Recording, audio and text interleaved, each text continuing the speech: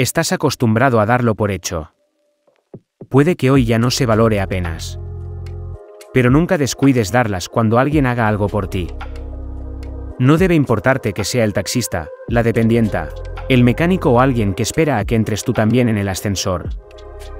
El mero hecho de que nos hagamos la vida más fácil ya debe agradecerse. Y sabes que nadie te obliga, que quizás lo veas como una costumbre que sale de tu boca sin darte cuenta, pero que hace bien a un nivel interno en cada uno de nosotros.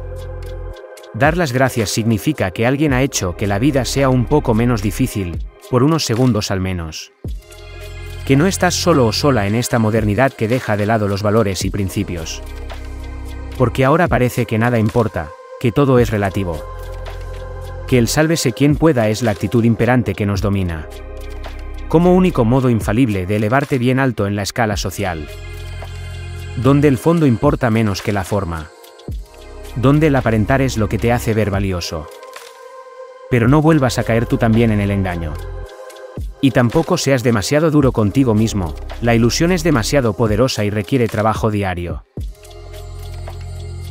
Esa idea psicopática de que eres valioso si solo piensas en ti, si brillas socialmente y tienes a gente adorándote, está a años luz de lo que verdaderamente es nuestra naturaleza. No es por educación, tampoco por humildad que debas darlas. Es por empatía y porque sientes también lo que siente el otro. Porque ese faro en la niebla, ese gesto de ayuda en una circunstancia adversa, tanto si hay dinero en medio como si no, te recuerda que después de todo somos humanos. Que nos necesitamos unos a otros. Que puede que en algún momento podamos cambiar entre todos el curso de la historia. Porque ya nos hemos hecho suficiente daño. Estás viendo cada día la infelicidad en ti mismo y en los demás conforme nos alejamos más y más de nuestra esencia.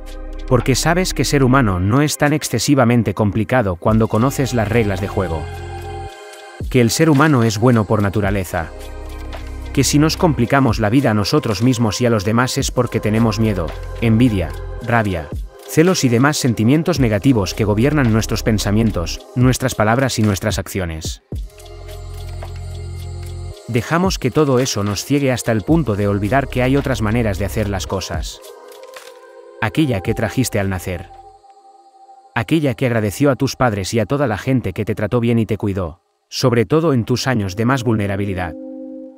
Y no se te olvida en absoluto agradecer más todavía cuando sabes que hay muchas personas que no han tenido tu suerte. Algunos han podido salir a flote y otros no, quizás por aquello del libre albedrío que permite que las circunstancias al menos no tengan por qué condenarnos irremediablemente. Y eso mismo también te ha ayudado a ser más comprensivo con la edad. A entender a las personas que conoces y que te hicieron daño en el pasado. Y aunque lo injustificable jamás dejará de serlo, podrás por lo menos liberarte de la carga del recuerdo de ese dolor. Y quedarte con un agradecimiento porque ellos te enseñaron la otra cara de la moneda, la persona en la que pudiste convertirte y afortunadamente no fue así, por suerte o por destino. Después de todo, agradecer levantarte cada mañana con salud, tener a los tuyos cerca y poder seguir corrigiendo errores es una oportunidad que algunos pierden antes. No se trata de conformismo, se trata de tomar responsabilidad en tu vida, dejar el victimismo y pasar a la acción. A dedicarte a hacer todo aquello que depende de ti para que al menos desde tu microcosmos, las cosas puedan ir mejor. Repito, agradece a la vida por estar aquí, a tu gente, a los que no lo son y te ayudan a valorar más a los primeros, a los que te hacen ver todo aquello que aún has de sanar, a los que te dan un servicio que tú de buena gana pagas con dinero, al que se aparta de la acera cuando vas cargado de bolsas, cuando te cede el paso otro conductor, a todos.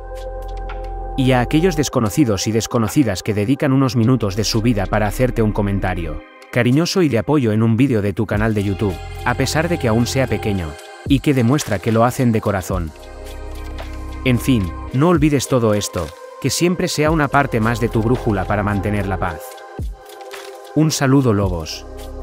Y gracias por estar ahí.